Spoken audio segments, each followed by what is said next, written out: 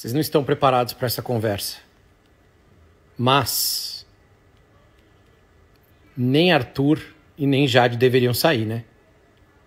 Se vocês querem dar uma bagunçada e uma confundida na cabeça deles lá e gostam de fogo no parquinho, vocês deveriam deixá-los lá de novo. Mas vocês não vão fazer isso. Vocês não estão preparados para essa conversa. Mas o correto era não tirar nem o Arthur e nem a Jade.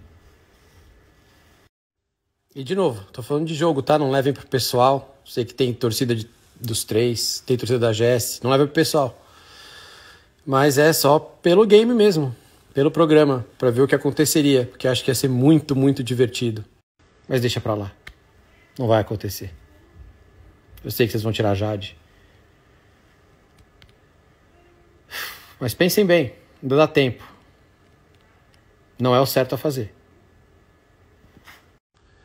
Depois tem tempo aí, vocês tiram o que vocês quiserem, mas o correto era deixar os dois. Que pena.